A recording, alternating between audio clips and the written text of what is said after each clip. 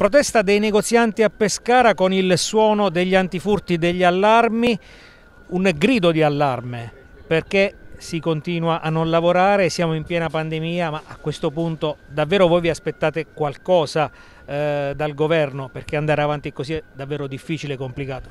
Guarda, questo, questa protesta, diciamo, una protesta è un accendere l'allarme alle 10 di mattina, diciamo, tutti i negozianti, chi vuole partecipare naturalmente, e per farci sentire, per far capire che ci siamo, perché visto che manifestare in piazza è diventato problematico e eh, ma sinceramente non me la sentivo neanche di mettermi davanti per questa situazione. Ho detto suoniamo l'allarme tutti quanti e qualcuno ci sentirà diciamo una protesta singolare non fa male a nessuno, nel senso sono tre minuti di allarme accesi in tutta Pescara. Naturalmente chiedo a chi, chi aderisce a questa manifestazione di, di avvisare sia le vigilantes che la questura se hanno collegato l'allarme eh, diciamo da, da, loro perché sennò eh, non, non, è gestibile la cosa anche da parte della questura. Mi hanno chiamato mi hanno detto Andrea mi raccomando facci avvisare prima fai, avvisa, che avvisassero tutti, tutti quanti sia vigilantes che la questura.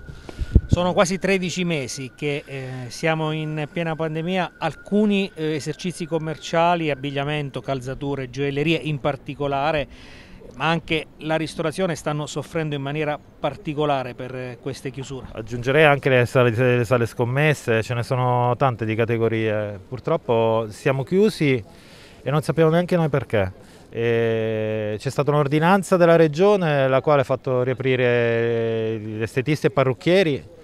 Noi come negozio di abbigliamento, parlo a nome di tutti quanti, se apriamo per una persona, dateci delle regole, nel senso, possiamo fare entrare due persone per 50 metri quadri, ne facciamo entrare due. Se entra la terza ci chiudete per un mese, ma almeno dateci la possibilità di riaprire.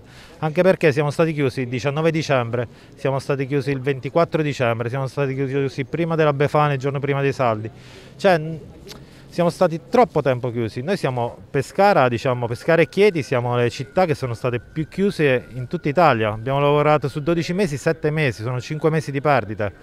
Noi chiediamo solamente di poter lavorare, perché le risorse economiche stanno finendo, stanno finendo per tutti.